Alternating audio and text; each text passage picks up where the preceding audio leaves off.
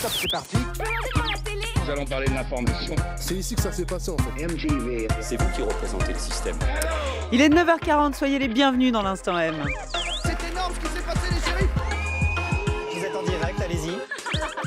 Tom Wolfe est mort, Tom Wolfe, géant de la littérature américaine, Tom Wolfe qui ne publia son premier roman, Le bûcher des vanités, best-seller mondial, qu'à 57 ans. Que fit-il avant? Du journalisme, du journalisme comme on n'en avait jamais fait auparavant, du nouveau journalisme. C'est l'histoire d'un homme, d'un regard papier de verre, d'une écriture faite de fractures, du monologue intérieur pour planter la subjectivité et d'articles qui firent scandale que nous allons vous raconter ce matin. C'est l'histoire d'une Rongée par la corruption, obsédée par l'argent et la célébrité, réussites arrogantes et vices cachés que Tom Wolfe ne coucha pas sur le papier, il les magnifia, il les assassina. Tom Wolfe ne s'est jamais couché. L'instant M. Sonia De Villers sur France Inter. Bonjour François Bunel. Bonjour Sonia, bonjour à tous. Alors, euh, bah, c'est une grande histoire, c'est une longue histoire que vous avez connue avec ce grand écrivain. Vous l'avez filmé deux fois pour la Grande Librairie, une fois tout récemment, il y a à peine deux ans, dans son très bel appartement à Manhattan où il vous avait reçu. Vous l'avez également euh, portraituré, interview croisée avec Guetta Lise, autre pionnier du nouveau journalisme.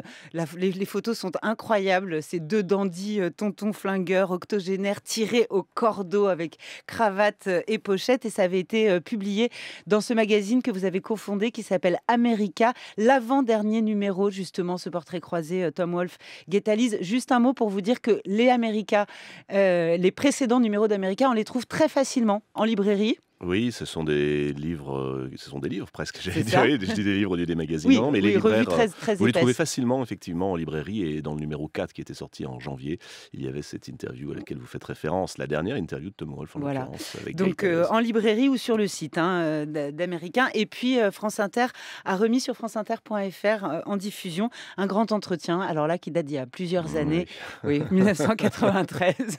1993. On va dire, François Bunel, un mot de, de cet homme et d'abord de son allure. Il était invité, écoutez cette archive de Thierry Ardisson. Tom, moi c'est le costume noir, vous c'est le costume blanc. hein. Alors vous avez dit, l'avantage de porter toujours le même costume, c'est que ça donne une idée aux journalistes pour commencer leur papier. Et, et une fois, vous aviez fait une très mauvaise interview, mais le journaliste avait été fasciné par votre costume, et vous avez compris que finalement ce n'était pas la peine d'avoir une personnalité, il suffisait d'avoir un costume blanc. Effectivement, et c'est tout ce que j'ai ce soir. Cela étant, il y a une chose quand même qui est très nouveau, très- enfin, quelque chose qui vient des États-Unis justement, et que je dois vous présenter ce soir. Regardez, c'est ce qu'on appelle une cravate. Je sais pas, j'en vois aucun, aucune autre dans la salle. Et alors, je peux vous dire où vous pouvez en trouver si ça vous intéresse. Vous êtes le dernier à porter une cravate. Je croyais être le premier. Je- ça fait tellement longtemps que j'ai vu des cravates. Je l'ai pas vu en France en tout cas depuis mon arrivée. Et lorsque vous l'avez rencontré et filmé à 85 ans, euh, François Bunel, il avait toujours le costume blanc. Il avait toujours le costume blanc, il avait même eu cette délicatesse extrême juste avant euh, que nous commencions à tourner. Il était en costume noir Mhm. et euh, il a une, une- un dressing qui fait volontiers visiter, parce que c'est- ça fait partie, si vous voulez, c'est comme l'Empire State Building quand voilà. vous êtes à New York ou Central Park, il faut aller visiter le dressing de Tom Wolfe. C'était fascinant. Il était en costume noir et il me dit est-ce que vous voulez que je passe le costume blanc? J'ai trouvé ça d'une élégance incroyable parce que ça racontait aussi l'homme. Puis il disait souvent, vous savez, cette vieille phrase très française, le style, c'est l'homme. C'est l'homme. Alors c'est aussi un homme originaire de Virginie. Donc Oui. euh, est-ce que euh, est-ce que dans cette euh, apparence, est-ce que dans ce lin arboré, il y a ça, il y a cette Amérique sudiste? Oui, bien sûr, il y a cette Amérique qui est euh, l'Amérique étrangère euh, Mhm. au cœur du pouvoir. Mhm. Alors il racontait très souvent, Tom Wolfe, que en réalité tout ça part d'un immense malentendu. On l'a entendu dire à Thierry Ardisson, et c'est assez vrai, ça fournit les bonnes accroches aux journalistes qui ne savent pas me poser de questions.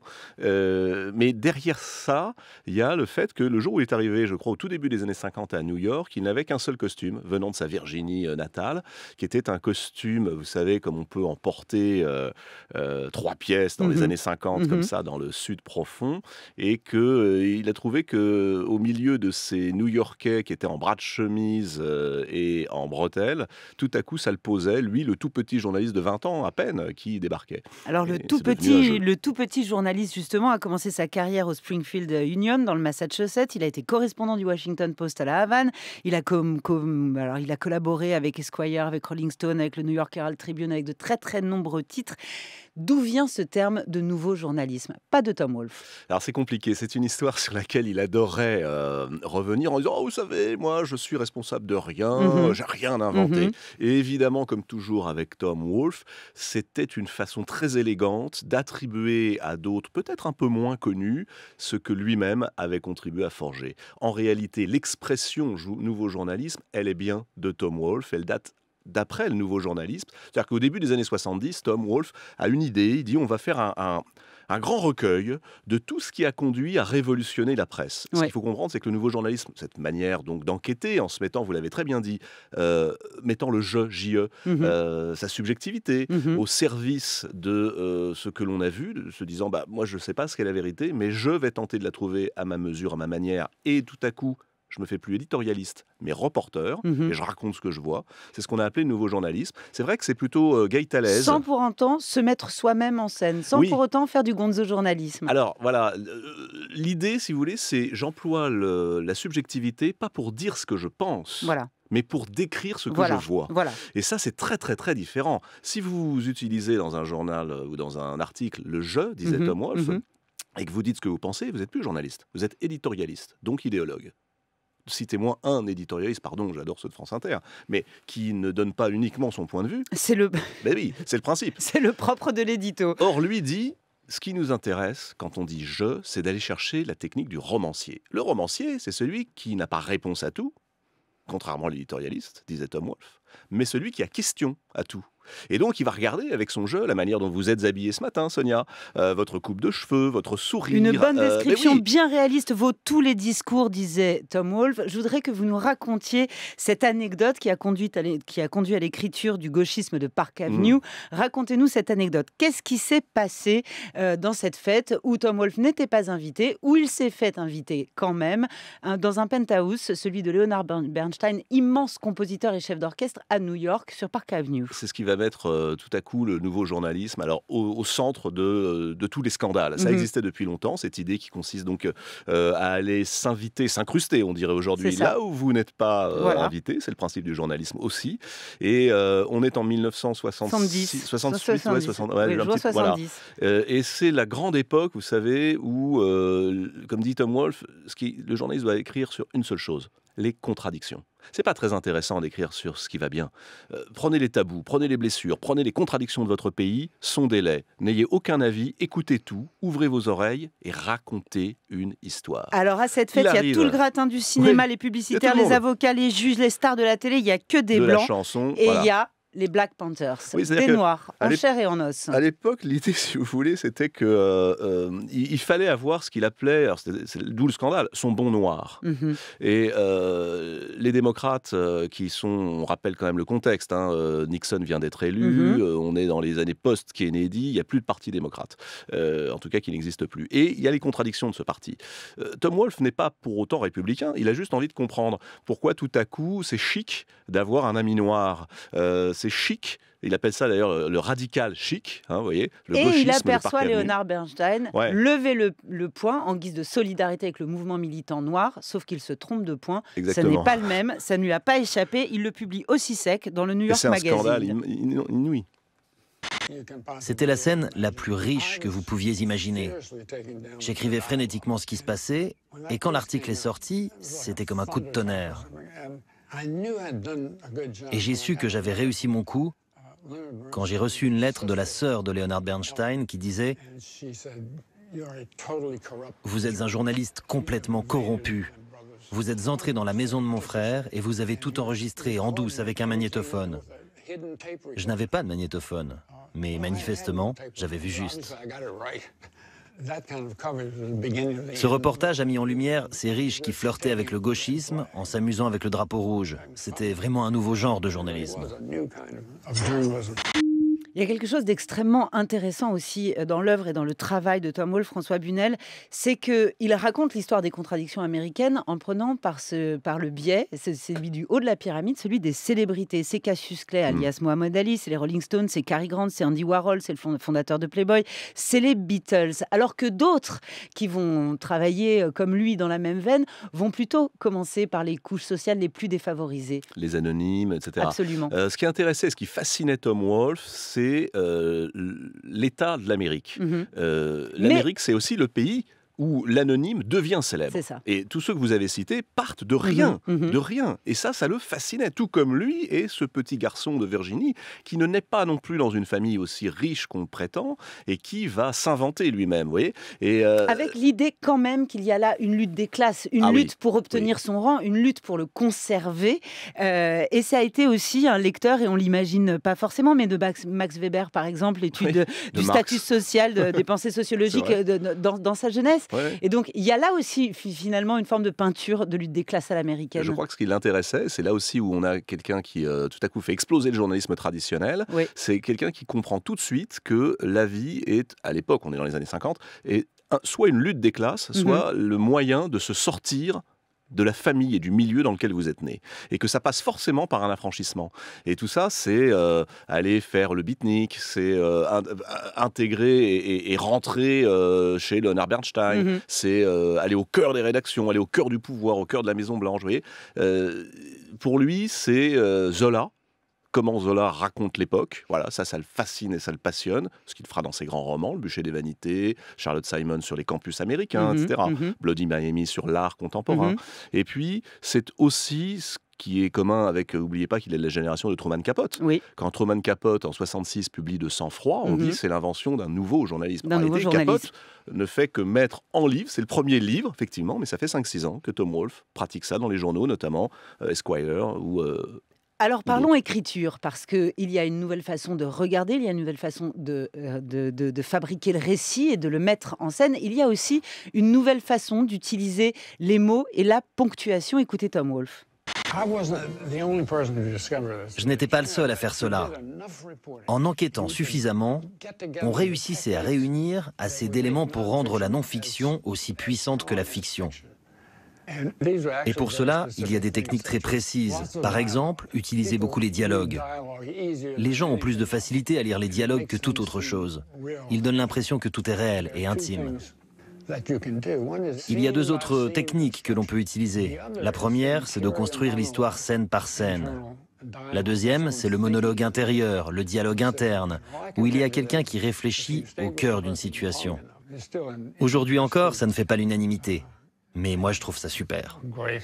Aujourd'hui encore, ça ne fait pas l'unanimité et Tom Wolfe le dit, les dialogues fidèlement le reproduits sont bannis des colonnes du New York Times, de la Stampa, du Monde, bref, de tous les grands journaux de référence euh, occidentaux. Lui, il dit c'est absurde. Oui, en fait, l'idée de Tom Wolfe, l'idée géniale du nouveau journalisme, c'est réveillez-vous. Mm. Vous nous écoutez là, réveillez-vous. On ne va pas lire non plus, nous les journalistes, on ne va pas continuer à faire des tonnes et des tonnes de trucs qui commencent par une petite description, notre idée de... Non, allez, mettez des interjections, des points d'exclamation, des, Des points de suspension, onomatopées. des onomatopées. Bah oui, Des, des- des majuscules Oui, qui exemple, bousculent bah la phrase. Bah oui. Mais, euh, et vous aussi, vous avez votre style, Sonia. Tout le monde a son Oui, style. là, on Ardisson, on l'entendait, à son style télé. Eh bien, Tom Wolfe est celui qui invente la télé, la radio, la prise électrique dans les colonnes des journaux. Et tout à coup, on lit. Tout à coup, tous ces trucs, tous ces articles qui se ressemblent tous, euh, vous sautent aux yeux. Et alors, c'est très intéressant. D'ailleurs, que- lui, il disait ce n'est pas de l'ornement, c'est ce, que vous avez euh, reproduit, ce sont ses propos à lui. Lui, il dit c'est le souffle de la vie, c'est l'incessante fracture du flux de conscience. Quand même magnifique, euh, magnifique formule. Euh, ce que je veux quand j'écris, c'est un concert d'idées brisées autant qu'un grand divertissement. Vous vous rendez compte? Mm. C'est le principe du roman. C'est-à-dire que tout à coup, vous, soit vous avez fait une thèse, et à ce moment-là, c'est un essai, soit c'est un roman. Et, et ce qui compte, c'est le dialogue, l'épaisseur psychologique, la manière dont le personnage, non pas va dire quelque chose, mais dont le romancier nous raconte la façon dont il le dit. vous voyez et donc, tout est vrai. Dans un article de Tom Wolfe, tout est vrai. Oui. Mais simplement, il vous dit toutes les coulisses. Il vous donne ce qu'on appelle aujourd'hui le bonus. Comme quoi, Internet, Facebook, etc. n'inventent rien. Euh, Tom Wolfe a tout inventé. il a mis les coulisses sur le devant de la scène. Mais finalement, Tom Wolfe, immense icône, comme on est en train de le dire, et immense pionnier, a jamais été très bien reçu par la critique euh, américaine. Il est là peut-être le paradoxe? Il est oui et non. C'est-à-dire qu'en fait, il y a très vite des clans qui se sont formés dans les années 50. Euh, ça a été un immense succès, disons, entre 1953 et effectivement le début des années 70, mhm. où tout à coup, euh, les journalistes qui n'arrivaient pas à faire ça. Parce qu'il ne faut pas oublier que c'est très compliqué à faire. Vous savez, personne écrit comme Tom Wolfe. Tout le monde voudrait mettre des majuscules, des interjections, des points de suspension. Mais si vous le faites, vous et moi, si on le fait tous les deux, ça va être grotesque. Il n'y a bah, que Tom qui savait le faire. quelque chose à dire.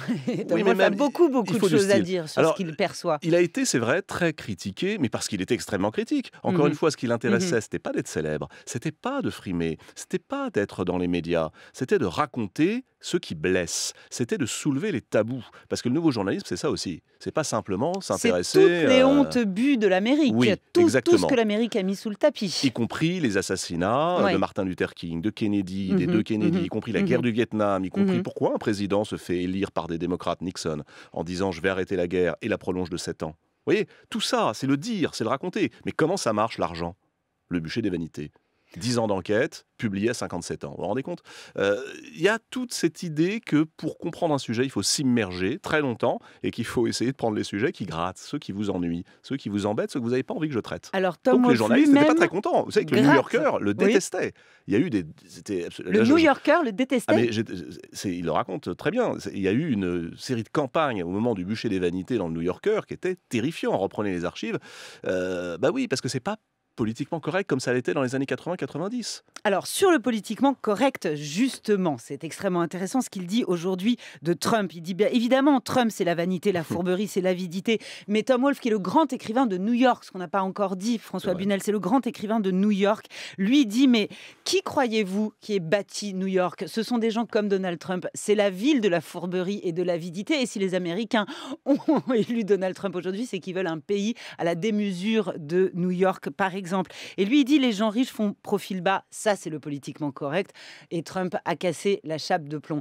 Il avait mmh. voté en 2004 George W. Bush. Ça a été d'une violence aussi ce que ça a suscité comme réaction un grand écrivain new-yorkais qui vote George W. Bush. Qui ose voter à droite Oui. Ça se dit pas aux États-Unis, particulièrement à New York, qui est encore autre chose que les États-Unis, comme vous le savez. Oui, euh, mais non, ça se dit pas. Particulièrement à New York. Et euh, il a été lynché. Lynché par la presse, lynché par la bien-pensance, lâché aussi par beaucoup de, romanciers, d'écrivains. Euh, mais voilà, les opinions politiques des uns des autres. D'abord, il faut savoir une chose c'est que Tom Wolfe... L'indiffère parfaitement. Oui, lui, il s'en fout complètement, mais surtout, il n'a jamais vraiment fait de politique. Encore une fois, mhm. il euh, grattait à droite comme à gauche, euh, mais à droite aussi, rassurez-vous, il les a bien poussés dans leur retranchement. Mhm. Mais euh, c'est vrai que ce qui s'est passé, il l'avait dit d'ailleurs, c'est pire avouez que vous avez voté George W. Bush en 2004, c'est pire que dire que vous êtes pédophile. Mmh, absolument. Et euh, ça donne aussi une idée de l'intolérance américaine. J'aimerais qu'on dise un dernier petit mot, parce qu'il nous reste quelques secondes. Tom Wolfe a été adapté au cinéma, et j'aimerais qu'on dise ah. un mot de ce film. Sam Shepard Oui, de Sam Shepard, dont je suis absolument bah amoureuse depuis toujours et qui vient de mourir. C'est l'étoffe des héros. Film génial. Film et livre incroyable. Et livre incroyable. folle mhm. sur euh, les pilotes de. Les, alors, ceux qui allaient devenir les grands pilotes de la NASA et qui sont tous des fracassés de la Corée, du Vietnam, mhm. euh, voilà, et qui sont passés avant par la guerre. C'était euh, une immersion folle, comme Tom Wolfe pouvait en faire, comme il l'avait fait avec Ken Kesey et les fous furieux psychédéliques, les beatniks. Vous savez, étaient partis de San Francisco dans un bus psychédélique où on faisait pas fumer la moquette. C'était Acid Test, qui est le grand roman qu'il faut lire, parce qu'il n'y aurait sans doute pas eu tout ce qu'il y a euh, comme Beat Generation. Il n'y aurait peut-être pas eu Kerouac sans tout cela. Il n'y aurait certainement pas eu en France des journaux qu'on aime, comme Libération et d'autres, s'il n'y avait pas eu Tom Wolfe. Merci beaucoup François Bunel. Et je rappelle que donc tous les numéros de la revue America sont disponibles en librairie, en librairie et sur le site. On se retrouve demain soir pour la grande librairie sur France 5.